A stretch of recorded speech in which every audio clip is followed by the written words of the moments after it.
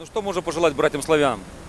Вести здоровый образ жизни, дружить друг с другом, поддерживать друг другу, взрослым, передавать традицию и культуру молодежи. А молодежи беречь и уважать стариков и соблюдать те традиции, которые установили наши предки.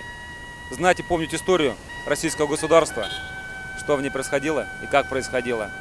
Если мы народ, а не население на этой территории, то мы должны иметь традицию, культуру, обычаи, земли, бизнес, экономика.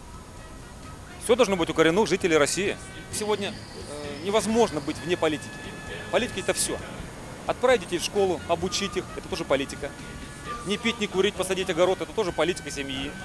А есть политика государства, есть обще, общенациональные интересы, сохранение природного богатства и все остальное, чтобы природные достояния шли на пользу нашему обществу, а не кому-либо. Вот об этом надо думать. Поднимется Россия и окрепнет, а мы свой долг ей отдадим сполна. Ведь нас уже не двое и не десять, встает за нами